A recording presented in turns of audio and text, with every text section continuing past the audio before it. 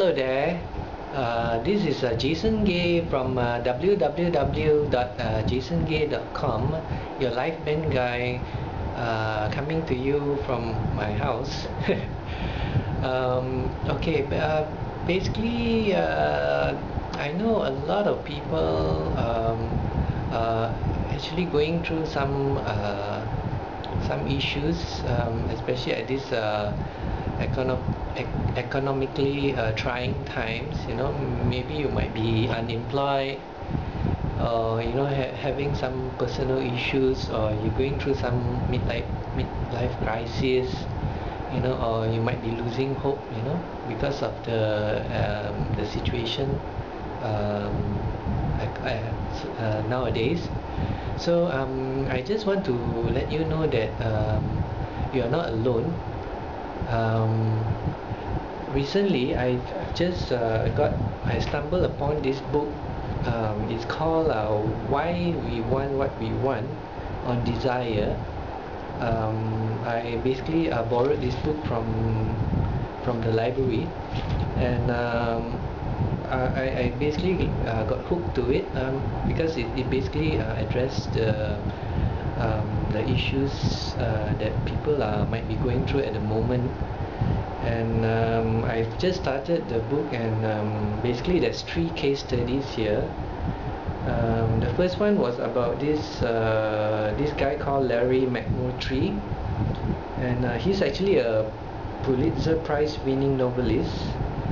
And um, he basically had an operation and after the after the surgery he basically like lost his desire to to do to do what he was doing before the surgery. He basically like just you know lost um, lost his desire.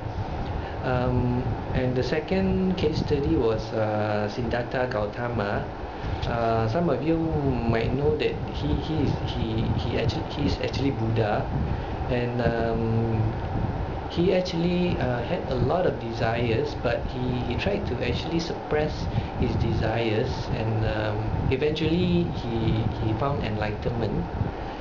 And uh, the third case study is uh, this uh, Russian author called uh, Leo Tolstoy he is um, he's actually very famous. He had money and he had fame. He, he had um, basically everything but one day he woke up and uh, he just lost his uh, desire. He began to uh, question uh, what was life about and uh, whatever he did you know even with the money and all that it didn't it didn't actually make sense uh, to him any longer you know um, so um, I just want to let you know that um, you know there are people going through all these issues and uh, you're, you're not alone you know. People are actually writing you know people are writing about this stuff and uh, imagine if the Buddha is uh, going through these issues you know um, I know people are suppressing it. Sometimes they don't want to show it you know but um, people you know important people you see like this author and uh, Buddha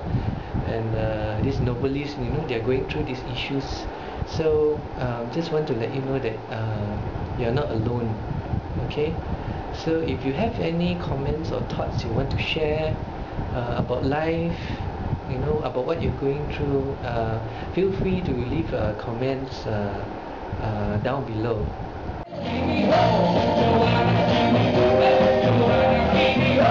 Joanna,